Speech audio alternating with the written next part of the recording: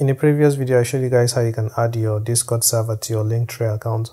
But in this video, I'll be showing you guys another way to do it. And uh, yeah, let's begin. So on your Discord server, you want to tap on the name of the server, you tap settings, then you scroll down and then you tap on invites. So you're going to see the invites you have created. I'll suggest you go for the invites that never expire.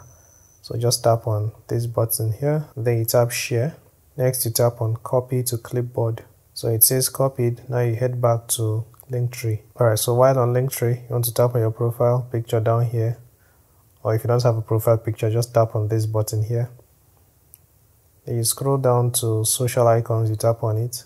Next, you scroll all the way to the bottom and you're going to get the Discord option here. So you tap on it and you paste the link you just copied. After that, you tap on this. And yeah, that's all. Just tap on this tick button here. And if you tap on preview, you will see the Discord icon up here.